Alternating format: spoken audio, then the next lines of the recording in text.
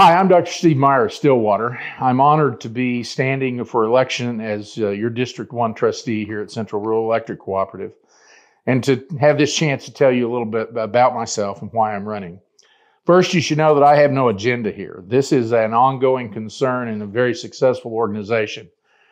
24,000 meters, $60 million in revenue, a quarter of a billion dollars in assets are all numbers that point to a successful organization.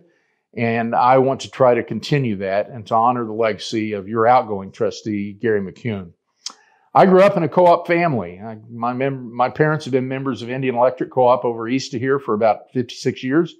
I was a 1974 participant in the state rural electric cooperative Washington Youth Tour, and that kind of piqued my interest in co-ops many years ago. And of course, rural electric um, administration and electrification, and those 10 men that founded this co-op in 1938. I attended graduate school and worked uh, out of state for 34 years and came back to Stillwater in 2016. I'm an Okie by birth and by raising, and now again an Okie by choice.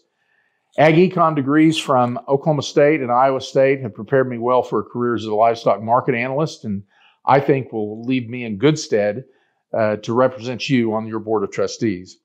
I'll be retiring from full time work uh, next summer and so it's time to give back to the organizations that have uh, really helped me in my career and shaped me. And uh, this is one of them. Uh, the cooperative movement has been important.